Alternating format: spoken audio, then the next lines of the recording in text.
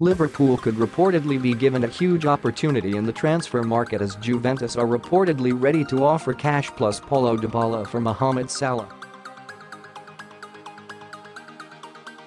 Of course, the Reds probably won't want to let Salah go anytime soon, but Dybala is another world-class forward who'd be a pretty fine replacement all things considered. This shock rumor comes from Italian source Tuttosport, and it also follows a recent report linking Dybala with both Liverpool and Manchester United. It seems the Argentina's future with Juve is in some doubt as Don Balon have claimed his asking price has dropped from £140 million to £105 million, alerting both Liverpool and United.